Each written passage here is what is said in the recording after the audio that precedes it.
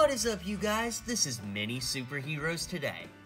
And in today's video, I'll be showing you how to build Cable from the classic X-Men look using 100% official LEGO pieces. Now, this was inspired by a conversation with Jay_bricks2020 on Instagram, who I'll link in the description below, because he pointed out how perfect the Magneto head and hair is for a purist cable. It really does work great, and I think it is a great way to uh, start building this figure. The rest of this design is something that I came up with, so let's go ahead and show you what all that is. This is one of the gold neck brackets from LEGO Ninjago. I think it adds a lot of nice texture there to the shoulder area. The torso is Thanos from uh, Marvel Mighty Micros, of course, flipped around so that you only have the gold belt there.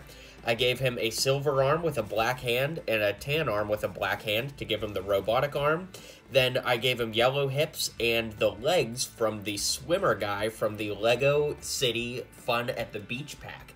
These are usually supposed to look like, you know, like swimming trunks, like blue on top, yellow on bottom, but it actually works really well for the cable design, and I like the way it turned out. So drop a comment below, let me know what you think, be sure to hit like and subscribe. Most importantly, drop a comment and let me know what you think next, and I'll see you guys on the next video. If you liked what you saw and you liked what you heard, feel free to click that subscribe button for more LEGO content coming in the near future. So, thanks for tuning in to today's video, and until next time, build on.